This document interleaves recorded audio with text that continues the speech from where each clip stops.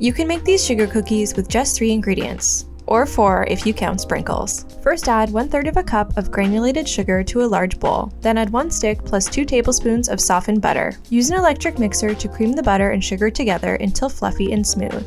You can also use a spatula or a whisk if you don't have an electric mixer. Now all you need to do is add 1 cup of all-purpose flour and mix again until combined. The texture will be slightly crumbly, but that's okay.